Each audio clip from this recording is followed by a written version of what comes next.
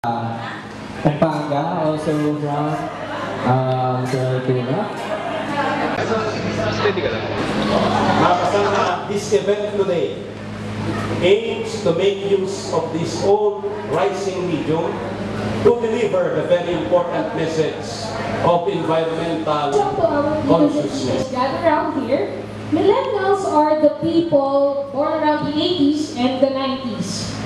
And I guess your sons and daughters are one of them. I mean, of us. Also, us millennials are the noisiest, wittiest, and most annoying people all over the social media and probably in real life as well. tagalinis. Ubos ng sigarilyo, plastik ng sipilyo, ubos na ang kailangan at ang walang pakinabang ay tinapon na lang sa daanan. Daanang tinambakan ng daan-daang basura, tignan mo ang kapaligiran, matsura. Galing eh, Jay. At ang kanilang dahilan, aso, pusa o tao ang maglilinis niyan. Yeah. May tagalinis naman. That that's breathtaking. The world is breathtaking. I've heard stories, you know, about the world. Quite a lot actually. I've heard about the Big Bang Theory, the boom, kabam, the Greek virgin. Vlogger. What Ito tayo. Ang daming time para mag-charge at mag-check ng phone, pero walang time para alisin sa saksakan yung charger. Nature itself is the most relaxing palace. Notice the chirps by the flock. Ang tulong ito ay para sa susunod na taong makakakilala sa'yo. Lunes ng umaga, tahimik pa ang mga kalsada, ang tanging naririnig ko lang ay ang paggalaw ng mga sanga. Pagmuli ng mga ilong nasa puno ng akasya, naririnig kita. At tila ba ako yung hinaharana, napakasaya. Napakasaya, napakasaya sa pakiramdam ng hangin yung dala. Ramdam ko nga ang lamig na inapag ko sa sahig ang aking mga paa.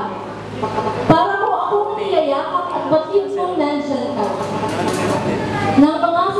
Iyon, naisip ko na napakaswerte ko. Pag-ibig na nga ba ito? Pag-ibig na nga ba ito? Miyerkules, patuloy mo akong sinubaybayan sa aking araw-araw na paglalakbay. Patuloy ka pa rin sa pagbibigay at pag-aalay. do wrong for you to forsake me like this? What have I not given that you hurt me this way? I have given you everything you need.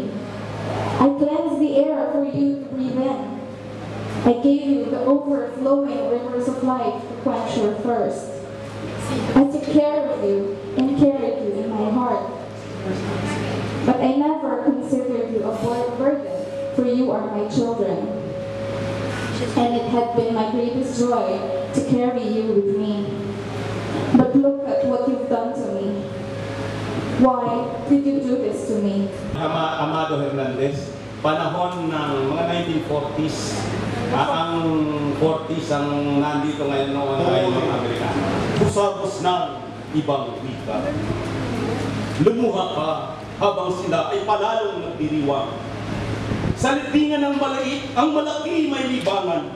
Katulad mo ay si Huli, na aliping bayan ang katulad mo. kong kailangan din kitang alagaan at kailangan kitang gantihan ng kabutihan. Lumabis ang paggamit ko sa iyong yaman, inabuso ko ang iyong kahinaan. Kinalbuko ang iyong mga kagubatan at ginamitan ng dinamita ang iyong mga karagatan.